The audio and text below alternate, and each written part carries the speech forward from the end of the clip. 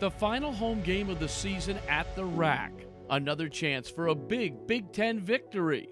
One last vehicle to thrill the crowd. One final opportunity for CJ Gettys to represent the Scarlet Knights. Rutgers on senior day in home whites.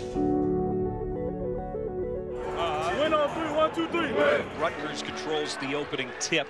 It wasn't the only thing Rutgers controlled in the ball game. They also controlled the backboards, and they played with purpose. Mike Williams knocks down the three. He has played well over his last eight, averaging over 11 points a game. Speaking of great, that described just Sean Freeman's day. Turn it over, and there is Deshawn Freeman finishing on the other end. A great start for Rutgers. That's what they've done all year long. They've played terrific defense, turned defense into offense. Black is stripped. Another turnover for the Illini. Corey Sanders, but there's Gettys to clean it up. And John Groce quickly calls a timeout. A 7-0 start for the Knights. Gettys wasn't the only one pumped up. His teammates were, the cheerleaders were, and the crowd was on fire. Time game against Illinois here last year as Freeman goes to the other side of the rim. Pretty reverse for the junior from North Carolina. Meantime, Gettys was on a mission. Gettys now backing down on Maverick Morgan. Goes with the left hand off the window. You know, he feels inspired today. You always want to have a good game on your senior night. Only on senior day do you get that shot to go. Gettys. One of the Achilles heels for this team has been free throw shoots. And with that set, Freeman hits them both, and it's 15 to 10. Steve Pikiell's troops were as locked in as their fiery head coach. Dorson the putback. No. Got that one to fall. And the foul. A hotly contested first half was defined by intensity and hustle from both teams.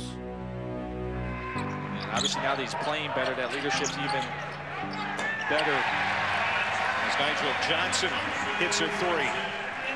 30 to 27 Rutgers at the half. Illinois hoping to come in here today and stretch that winning streak to five, but you can see Rutgers playing well. They finished the half on a 9-2 run. Focus on, man. Play hard. You've got 20 minutes on three. On one, two, three. Play hard. Right to it. As soon as they throw it in, Warren just get to an elbow, make it to an elbow. So we're showing one, three, one. Corey Sanders had a quiet first half, but shined in the last 20 minutes. And it wasn't just his scoring that turned some heads. And then they're okay. Freeman on the feed from the point. Sanders found him. Tied at 34. Good find. Early in the second half, Illinois put together a stunning run, 17 4 to be exact, and Rutgers found themselves down by 10. Enter Jake Datica and Mike Williams. Jake Datica into the game now. Williams, he'll try a three and hit. His second triple of the game. Plays extremely hard the entire time he's out there. Williams tries the other wing and hits. And Rutgers back within four. Lead is five for Illinois. They once led by 10 here early on in the second half, but Rutgers has been a, a tough competitor all year. Sanders exemplifies that toughness. Sanders with a basket on the drive and one. Look out, here comes Corey Sanders perhaps.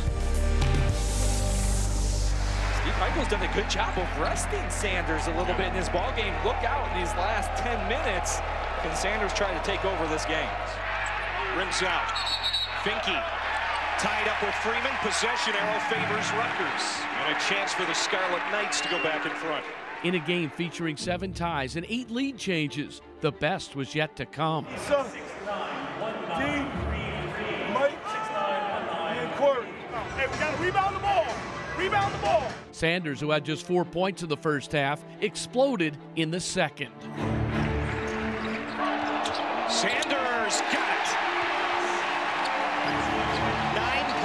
Halftime for the sophomore Corey Sanders. In the closing minutes, it was gut time at the RAC. What a block is sawed right off his hands by Williams. It is Sanders attacking high off the glass. Got the bounce, and we're tied. Crowd comes to its feet.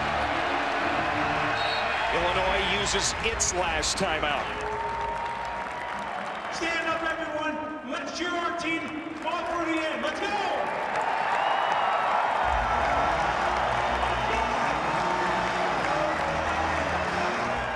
With athletic director Pat Hobbs leading the charge, the RAC turned into a frenzy for the final flurry of activity.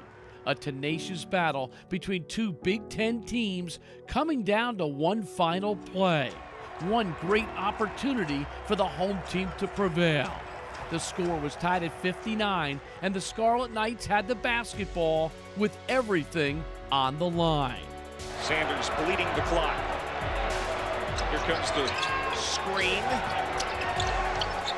It's Freeman for three. Yes!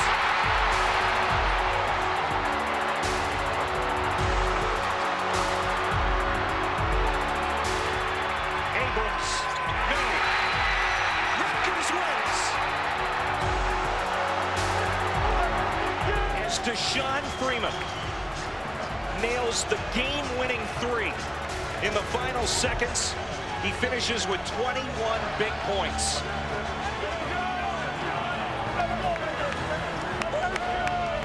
What a finish in this ball game.